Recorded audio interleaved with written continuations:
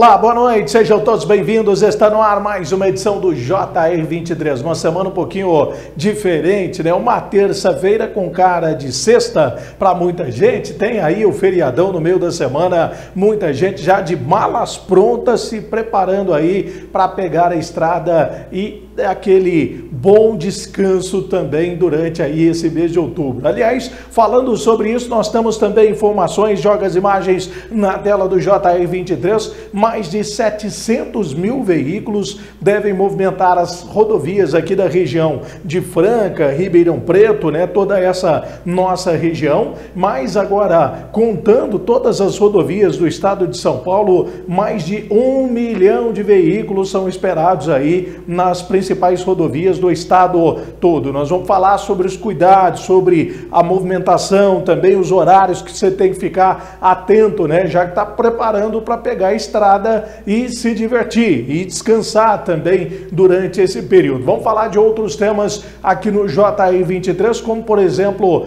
os jovens que iniciam mais do que nunca a maratona visando aí concentração já para as provas do Enem, que acontecem no mês de novembro. Vamos falar sobre isso também aqui no JI 23. E é claro que o esporte, ele é sempre muito importante. A gente fala sobre a importância da atividade física regular, aquela atividade que te ajuda não só na condição física, mas também para a mente, que faz bem aí para você. Então, daqui a pouquinho tem um projeto super bacana, a gente fala sobre isso. Vamos repercutir também a pausa do Campeonato Brasileiro e o que os técnicos né, estão planejando para essa chamada data FIFA, quando muitos atletas aproveitam para descansar e depois focar também nos treinamentos, já visando a reta final do Brasileirão. O JR23 está no ar. Logo depois do intervalo, a gente conta tudo para você.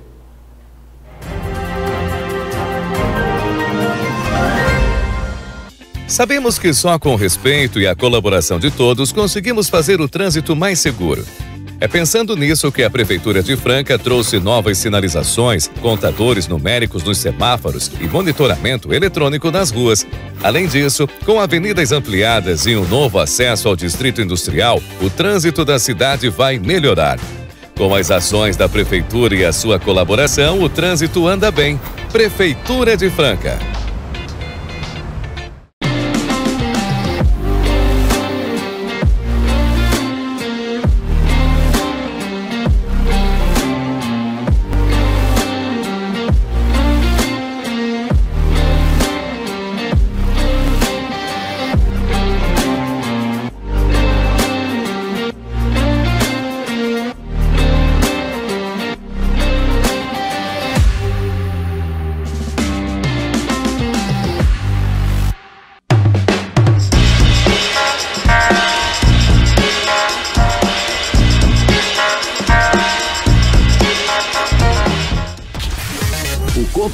Mais completo de Franca e região. www.portaldefranca.com.br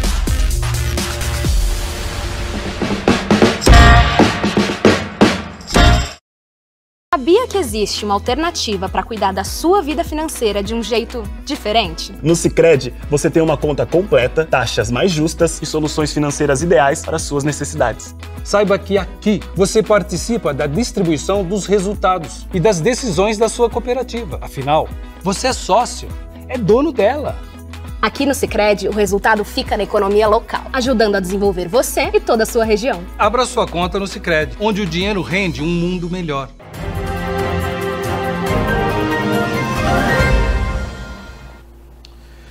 Muito bacana estar aqui em mais uma noite, trazendo sempre as informações do dia a dia para você. Uma semana um pouco diferente, semana mais curta para muita gente que vai aproveitar o feriadão do dia 12, claro, né? Muita gente já com as malas prontas. Aliás, quando tem feriadão, tem também dica e informação sobre o reforço da operação que acontece não só nas rodovias da nossa região, mas também de todo o estado de São Paulo. Já joga as imagens na tela, nós temos aí Artérias Via Paulista, estima um fluxo de 716 mil veículos durante o feriado prolongado de Nossa Senhora Aparecida, que vai do dia 11 a 16 de outubro, ao longo do trecho de de 720 quilômetros que administra, de Franca a Riversul, na divisa do estado de São Paulo com o Paraná. O aumento esperado para esse período, comparado aos dias normais, é de 6%. Com foco em segurança viária e na manutenção da fluidez do tráfego, a concessionária inicia já a operação especial a partir de amanhã, quarta-feira, e finaliza na segunda-feira, dia 16.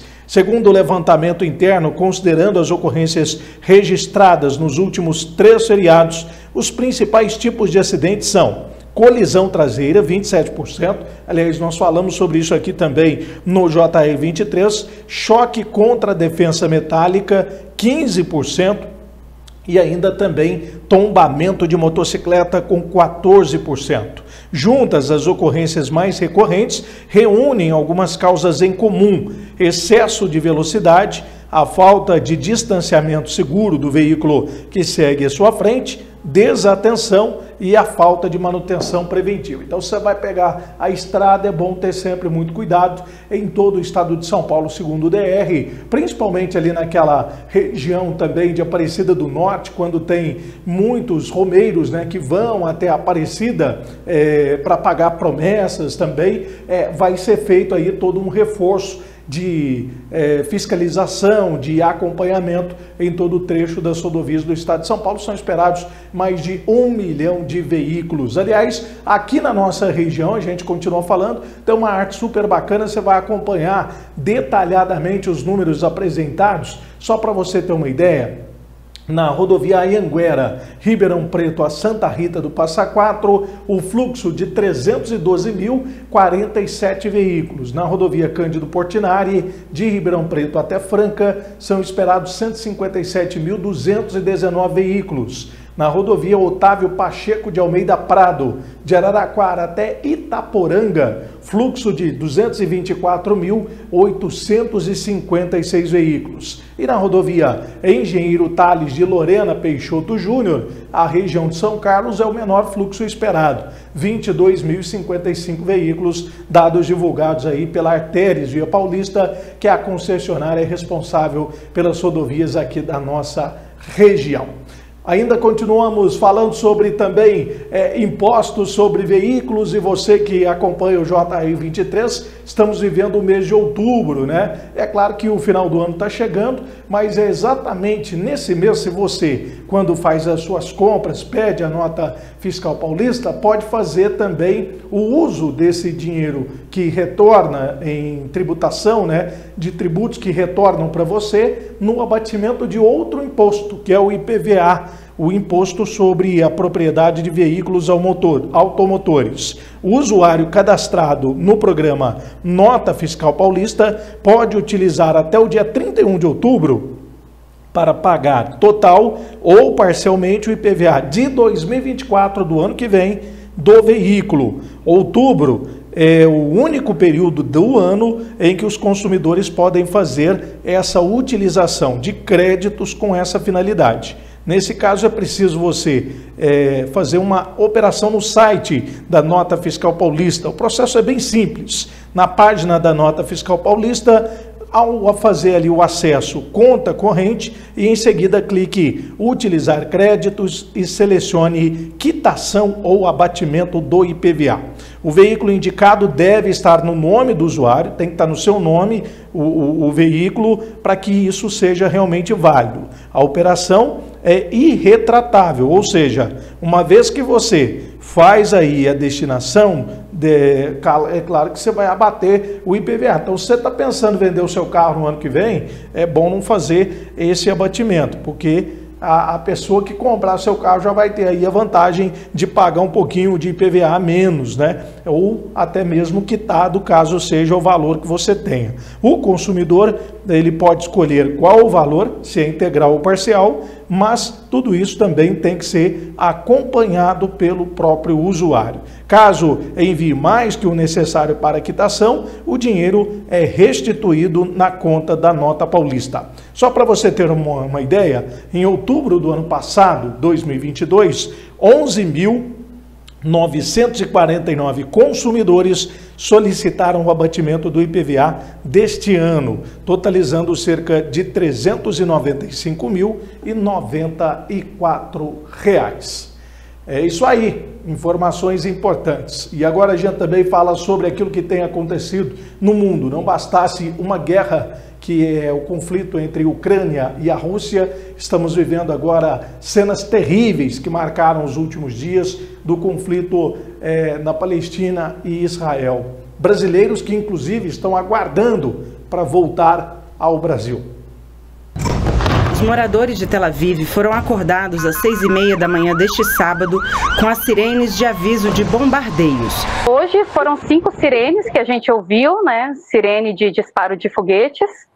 E aí a gente teve que se abrigar. A gente tem um abrigo aqui em casa, né, antibombas. Durante a entrevista, Carolina foi surpreendida por mais um desses alarmes. Toda vez que a gente escuta a sirene, aí, tá começando, ó. Tá ouvindo? Tô, tô. Isso é ataque. Eu vou ter que interromper para me proteger. Também morador de Tel Aviv, Felipe Bischoff contou sobre o clima de medo e tristeza que tomou conta de Israel muitas pessoas amedrontadas, então a gente fica nesse clima, a cidade está deserta. Foi uma situação que começou a ficar muito tensa para a gente aqui, é, triste. Como todos sabem, é, Israel é reconhecido mundialmente pelo seu poder militar. O ataque do grupo Hamas na manhã deste sábado, além de conseguir burlar o sistema de inteligência israelense, ainda obteve um efeito surpresa, invadindo Israel por terra, água e ar. Para quem vive em Israel, o medo é de que o conflito tome proporções maiores. Isso pode escalar e entrar, esbolar os grupos terroristas localizados no Líbano ou no Irã, o que aí tornaria a situação muito mais intensa. O Hamas já disse que é, ali é um, é um, seria uma cruzada contra Israel a favor do povo palestino, o Hezbollah e libanês. É, não sei se, com, se eles se aliariam neste momento para isso. Então, assim, a atuação de estados diretamente no conflito contra Israel, eu não vejo no momento essa atuação. Seria mais focado talvez em grupos. É, é, paramilitares, grupos terroristas que não têm uma ligação direta com o Estado, mas que podem atuar. Cenas realmente muito tristes. Vamos para nosso primeiro intervalo, mais um intervalo, na verdade, já já tem mais informações aqui no JR23. Fique ligado. Obrigado pela sua audiência, pela companhia de todos os dias.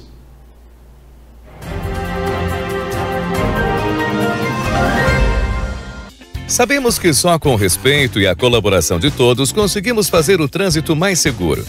É pensando nisso que a Prefeitura de Franca trouxe novas sinalizações, contadores numéricos nos semáforos e monitoramento eletrônico nas ruas. Além disso, com avenidas ampliadas e um novo acesso ao Distrito Industrial, o trânsito da cidade vai melhorar. Com as ações da Prefeitura e a sua colaboração, o trânsito anda bem. Prefeitura de Franca.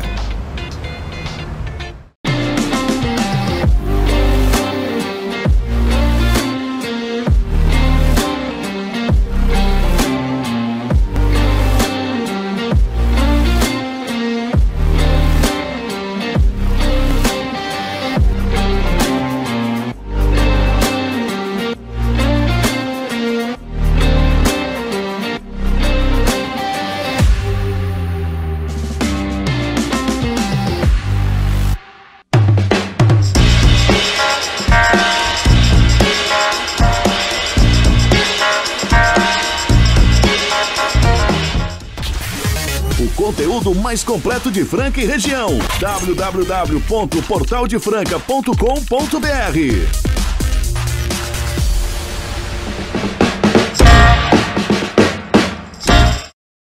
Sabia que existe uma alternativa para cuidar da sua vida financeira de um jeito diferente? No Sicredi, você tem uma conta completa, taxas mais justas e soluções financeiras ideais para suas necessidades. Saiba que aqui você participa da distribuição dos resultados e das decisões da sua cooperativa. Afinal, você é sócio, é dono dela. Aqui no Sicredi, o resultado fica na economia local, ajudando a desenvolver você e toda a sua região. Abra sua conta no Sicredi, onde o dinheiro rende um mundo melhor.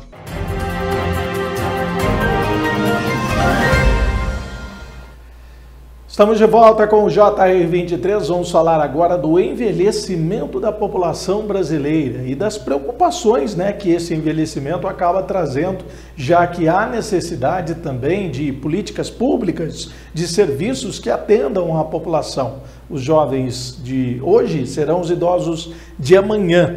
E só para você ter uma ideia, a parcela idosa da população brasileira com 60 anos ou mais subiu de 15,1% em 2022, no ano passado. Dez anos antes, o percentual era de 11,3%. Os dados são da Divisão de Características Gerais de Domicílios e dos Moradores 2022 da PNAD, a Pesquisa Nacional por Amostra de Domicílios do IBGE. Em números brutos, esses dados representam um aumento de 9 milhões de idosos do Brasil. Isso gera uma certa discussão é, porque realmente você que está aí acompanhando o JR23 sabe né, que todos os idosos têm ali as suas contas para pagar, tem um desafio também com relação à questão de saúde e, e aí, meu amigo, é um retrato daquilo que acontece para a maioria, se não a totalidade dos aposentados, aqueles que têm aquela micharia de aposentadoria, que não dá para pagar quase nada. Joga a matéria no ar, vamos ver. Sete em cada dez aposentados no Brasil dizem não ter dinheiro para cobrir as despesas do mês. Para 69% deles, a maior preocupação é com a alimentação e 49% dizem não ter dinheiro para gastos com saúde. É o caso deste servidor público aposentado. Ele conta que sua renda não é suficiente para o pagamento de plano de saúde nem para guardar dinheiro. Quanto a eu viver, dá Quanto eu alimentação, medicamento, dá, tranquilo, porque o meu salário como servidor público não é, é, é não é não é muito pouco, é um salário razoável, tá? Agora, para eu ter plano de saúde já não, já me faz falta. Para eu ter plano de saúde é, é que está muito caro. Eu tenho um equilíbrio financeiro é, razoável, não tem endividamento não. Agora também não sobra dinheiro não. A pesquisa da Serasa mostra que quase 60% dos idosos não fizeram planejamento para a fase da aposentadoria. E entre aqueles que juntaram dinheiro ao longo da vida, um em cada três já está consumindo as reservas financeiras porque a renda da aposentadoria é insuficiente. O que a gente observa é que as razões, é, tanto para para as pessoas acharem, para os idosos acharem o valor insuficiente, quanto para eles terem que gastar é, parte das suas reservas, é, são várias, né? Reflexo de economia, de inflação, de vários, vários fatores, mas é, o principal que a gente observa é também falta de planejamento ao longo da vida para essa etapa difícil. Já falamos dos idosos, agora a hora de falar também um recadinho para os jovens que estão aí na maratona de estudos visando as provas do Enem 2023. Dizem que a redação do Enem não é bicho de sete cabeças, mas se encaixa bem num conceito paradoxal. Para alguns candidatos, ela é um desafio quase intransponível. Já para outros, ela é uma queridinha que veio para somar. Fato é que os alunos têm gastado um bom tempo de preparação para arrasar na prova discursiva. Eu costumo ler o tema e com isso eu faço brainstorm, que é tipo colocar todas as minhas ideias no papel, e com isso eu vou separando o que eu vou querer usar na redação. Eu costumo separar no primeiro, segundo segundo, terceiro e quarto parágrafo. E daí eu vou formando a introdução. Eu costumo pegar dois núcleos, então duas coisas que eu quero trabalhar, baseado na tese que eu formo, formulo de acordo com o tema. E daí eu vou construindo. Ter conhecimento do conteúdo ajuda, mas não garante o melhor resultado. Por isso, a galerinha que vem se preparando forte tem colocado em prática outras formas de entregar um texto robusto, com boas referências e que demonstrem conhecimento global e bagagem cultural. Para a Sofia, por exemplo, exemplo, as referências citadas vão muito além de filósofos e das leis. É também a questão de leitura, mas em questão de filmes, séries, você pode introduzir tudo isso no seu texto de forma diferente e bem feita, porque isso é a originalidade do texto que a gente, no último ano do ensino médio, a gente tem trabalhado muito para chegar à nota mil. Eu costumo dizer que o repertório que ele é formado em sala de aula, ele é extremamente importante Nós temos aula de geografia, aula de história, aula de sociologia, ou seja, diversas disciplinas vão colaborar para a construção desse repertório mas existe um repertório que ele precisa ser construído somente pelo aluno. E é esse que eu digo que traz a nota mil, que é a nota máxima. A cada ano que passa, o nível de exigência da redação do Enem é mais alto, o que demanda muito mais esforço e dedicação dos alunos dentro das salas de aula. É preciso muito mais do que conhecimento. Tem que sair do óbvio com muita criatividade e inovação. Para estar afiado e mandar muito bem na redação, a forma de estudar também não pode ser comum. Essa escola, por exemplo, trouxe os alunos para o teatro e aqui, transformando clássicos de literatura em peças, eles dão um show de atuação e de preparação. Agora a gente pode ter o final da história, mas esse final eu volto para casa. Quando essas peças são apresentadas, por trás dessa peça houve todo um trabalho da roteirização. Os estudantes eles não vão em busca de um roteiro pronto. Eles precisam se apropriar da obra e a construção do roteiro é feita exatamente por eles. Então, todo esse exercício da escrita desse roteiro é algo fabuloso e é mais uma forma de aprendizado para esses estudantes.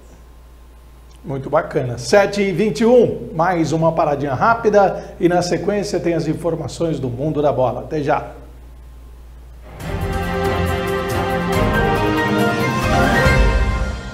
Sabemos que só com o respeito e a colaboração de todos conseguimos fazer o trânsito mais seguro.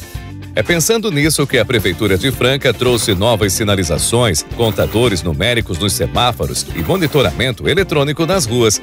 Além disso, com avenidas ampliadas e um novo acesso ao Distrito Industrial, o trânsito da cidade vai melhorar. Com as ações da Prefeitura e a sua colaboração, o trânsito anda bem. Prefeitura de Franca.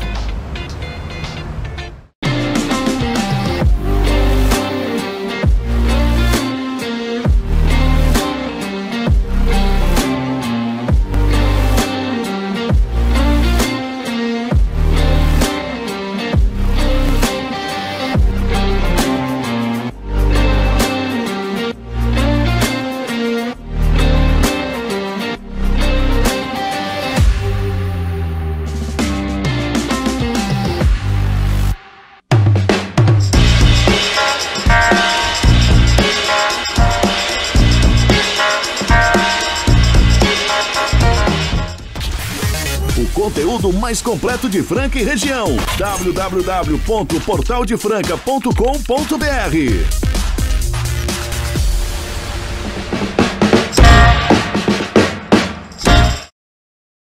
que existe uma alternativa para cuidar da sua vida financeira de um jeito diferente? No Sicredi, você tem uma conta completa, taxas mais justas e soluções financeiras ideais para suas necessidades. Saiba que aqui você participa da distribuição dos resultados e das decisões da sua cooperativa. Afinal, você é sócio, é dono dela.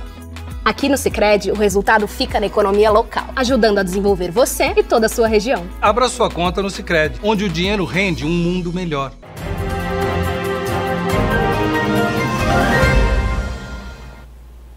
De volta com o JR23 para você que nos acompanha em toda a cidade, em toda a nossa região. Os clubes que disputam o Campeonato Brasileiro agora terão um tempo a mais durante a chamada data FIFA para atletas descansarem e ao mesmo tempo já voltarem é, intensos né, nos treinamentos, já visando a reta final da competição. Final de semana teve a 26ª rodada do Campeonato Brasileiro. Bom, o Santos está feliz da vida, manteve uma sequência de vitórias. O Palmeiras nem tanto, porque acabou sofrendo derrota seguida de derrotas. Foi eliminado da Libertadores, perdeu o clássico para a equipe do Santos. O São Paulo está ali naquela zona intermediária, mas o técnico Dorival não está satisfeito. Já o Corinthians vive uma pressão danada. Vamos ver então como ficou a classificação do Campeonato Brasileiro após essa 26ª rodada. Bom, o Botafogo segue como líder da competição com 55 pontos. O Bragantino, vice-líder, 46. Grêmio, Palmeiras e Flamengo disputam ali de terceiro ao quinto com 44 pontos. O Fortaleza aparece em sexto lugar com 42 Fluminense tem 41 ao lado do Atlético do Paraná, que também tem 41 pontos, e o Atlético Mineiro 40 pontos. O São Paulo ainda está na primeira página do campeonato, com 35 pontos. Agora, virando a página, nós temos aí uma outra competição, né? Tem aquela competição ali das brigas das primeiras posições e agora tem essa página, né? O Cuiabá com 32 pontos ao lado do Internacional, Corinthians em 13º com 31, o Santos subiu aí para 14º, vai afastando aos poucos, né, a zona da degola, mas ainda tem a preocupação. O mesmo número de pontos tem o Cruzeiro com 30, Bahia com 28 e aí já entra a zona da degola. Vasco da Gama, Goiás com 27, Curitiba com 20 e o América praticamente rebaixado, né? Com 18 pontos. Ainda faltam muitas rodadas, mas o América tem aí uma tarefa extremamente difícil, apenas com 23% de aproveitamento na competição. Bom, agora nós vamos acompanhar o que dizem os técnicos com essa parada da FIFA, já que teremos os jogos das seleções pelas eliminatórias, o que eles pretendem fazer, qual o foco que vai ser trabalhado durante o período de folga e também para o retorno do Brasileirão. Vamos ver. Nós enfrentaremos aí, é, se não me falha a memória, serão quatro, quatro partidas é, com as equipes que estão muito próximas e, e nós teremos que ter atitude decisão e buscarmos aí o melhor resultado. Acredito que já voltamos por completo ao Campeonato Brasileiro e nós precisaremos de muito mais ainda para melhorarmos a nossa posição. Trabalhar, trabalhar e trabalhar. Só acredito nisso para você mudar as coisas.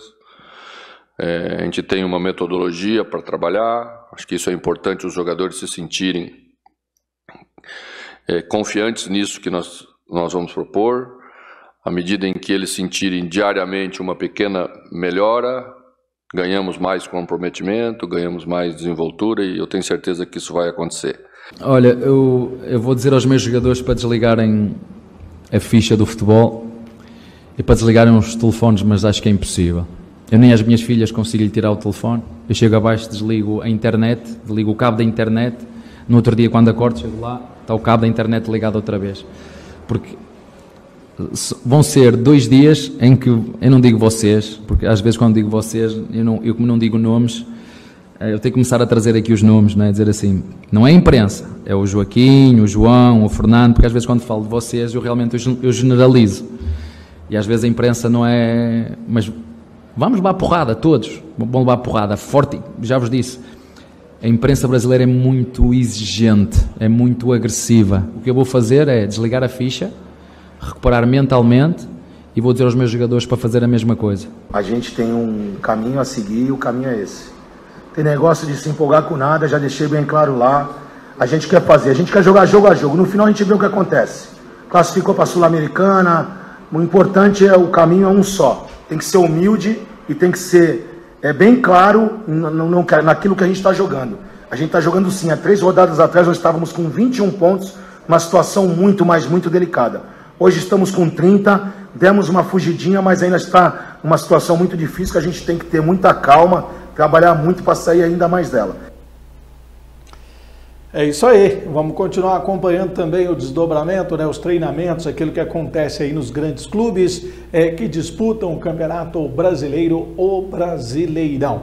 Eu quero falar agora com você. Todo mundo sabe que a atividade física é essencial para cuidar da saúde e também para cuidar da autoestima e da mente. Mas como é que faz com a correria do dia a dia, com a rotina tão exigente, principalmente para as mulheres, né? É, mas tem um projeto super bacana que você vai acompanhar a reportagem agora, que elas encontraram tempo para absorver toda a atividade em família, como mulher, muitas vezes trabalhando até fora. Veja só.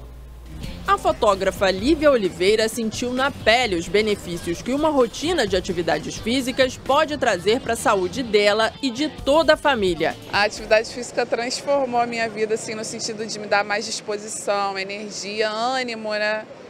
Mudou totalmente a autoestima, né? O me ver como mulher. Depois da maternidade a gente dá uma bugada, né, que a gente fala. E aí essa transformação trouxe de volta esse olhar né, mais carinhoso para mim, para o meu corpo, para a autoestima. Ela começou a correr em 2017, muitas vezes com o filho, João Paulo, no carrinho. Aos poucos, estimulou o marido, André Guilherme, a também deixar o sedentarismo de lado e a mudar o rumo profissional. Ele é formado em educação física, mas tinha deixado de trabalhar na área. Com a nova rotina, resolveu retomar a carreira de professor. Essa mudança começou na introdução alimentar do João Paulo, né, do nosso filho, tem cinco aninhos. É, a gente queria trazer mais qualidade de vida para ele, né? E a gente também não estava muito legal. O André estava com quadro de depressão. E a, a, alimentação, a mudança da alimentação dele foi o grande start para a gente trazer isso para a nossa vida, né? Prática de atividade física, uma boa alimentação, essa rotina mais regrada. Estava muito sedentário, tive ansiedade, depressão, síndrome do pânico cálculo renal, então assim, foi uma, grave, uma série grave de doença. Eu cheguei a 110 quilos, hoje, graças a Deus, eu tô com 70. Mas foi. Eu achei que era um caminho sem volta. Mas a atividade física mostra mais uma vez que ela é revolucionária e ela pode salvar vidas. Juntos, os dois criaram o circuito Mães que Treinam, depois que uma aluna pediu para trazer o filho para a atividade. O circuito ele nasceu do desejo de uma mãe de treinar, que ela não tinha com quem deixar a criança. Nosso grande diferencial, acho que é a nossa empatia e o olhar para essa mãe que está chegando. Né? Um olhar acolhedor, que ela se sinta confortável, bem. É, a rede de apoio a gente que faz, a gente ajuda a olhar as crianças, as crianças interagem entre si. Quando é menorzinho, a gente dá o apoio, segura, olha. E é isso, acho que esse acolhimento. Começou lá atrás, em São Gonçalo, quando a gente começou a treinar com o nosso filho, o João Paulo, e a gente viu que era uma coisa boa. E uma das mães me procurou para treinar com a criança. E pronta, prontamente eu fechei na hora. E aí começou o circuito Mães que Treinam lá em Itaipu, Cambuinhas, e depois a gente veio para cá, para Icaraí. Icaraí, bairro de Niterói, cidade vizinha ao Rio de Janeiro, o grupo cresceu. A influenciadora digital Priscila Garcia chegou há dois anos. Eu acho que eu tô mais calma, mais paciente. Porque a gente, né, a gente, a gente, nessa rotina louca do dia a dia, a gente tem sempre a ficar mais agitada. Então, assim, eu estou mais, mais calma, eu me sinto melhor, mais disposta. A antropóloga Bruna Pellegrino participa do grupo há oito meses e também percebeu os benefícios da atividade. Esteticamente, foram seis quilos que eu perdi. É, comportamento, eu me tornei uma pessoa mais tranquila, porque eu acho que eu consigo botar toda a minha energia para fora aqui e eu consegui uma rede de apoio acolhimento. Esse é o grande diferencial do Circuito Mães que Treinam. Além de praticar atividade física junto, o grupo acaba sendo uma oportunidade de trocar experiências sobre a maternidade. O acolhimento e a motivação. É um grupo muito acolhedor, que troca muita experiência, tanto de, de, de, atividade física quanto de, é, de, da vida materna, da vida de empreendedora. Tem muito empreendedor aqui. Então é um grupo muito bacana, assim, que te envolve mesmo e te estimula. Além dos encontros na praia, algumas mães do grupo participam de corridas de rua e vão juntas para as competições. Em agosto, por exemplo, elas fizeram o Girl Power Run, um circuito que acontece em diversas cidades brasileiras voltado para mulheres que buscam mais qualidade de vida e novos desafios. Eu comecei com a corrida muito inspirados pelo grupo. As meninas já corriam um pouco eu não corria nada, não corria nem 200 metros, acabei de fazer uma corrida de 8 quilômetros. Eu falo que é uma terapia. A corrida, ela é muito metafórica, assim.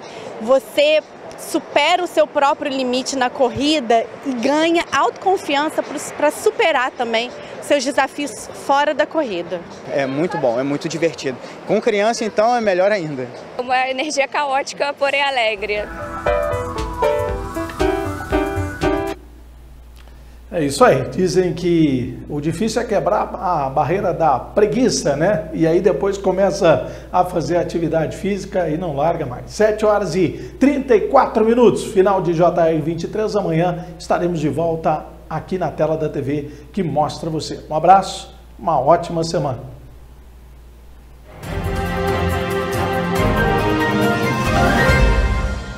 Sabemos que só com o respeito e a colaboração de todos conseguimos fazer o trânsito mais seguro. É pensando nisso que a Prefeitura de Franca trouxe novas sinalizações, contadores numéricos nos semáforos e monitoramento eletrônico nas ruas.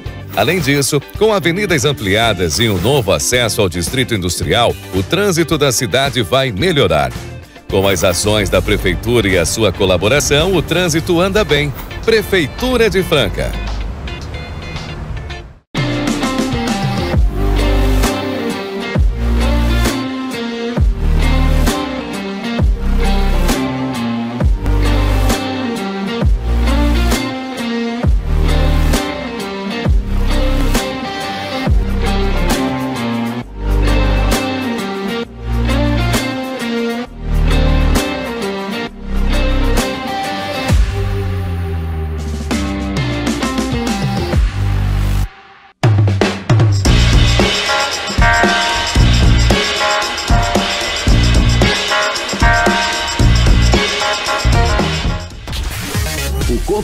Mais completo de Franca e região. www.portaldefranca.com.br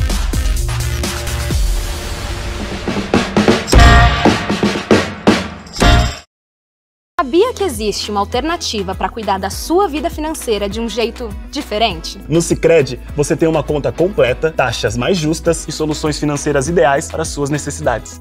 Saiba que aqui você participa da distribuição dos resultados e das decisões da sua cooperativa. Afinal, você é sócio, é dono dela. Aqui no Sicredi, o resultado fica na economia local, ajudando a desenvolver você e toda a sua região. Abra sua conta no Sicredi, onde o dinheiro rende um mundo melhor.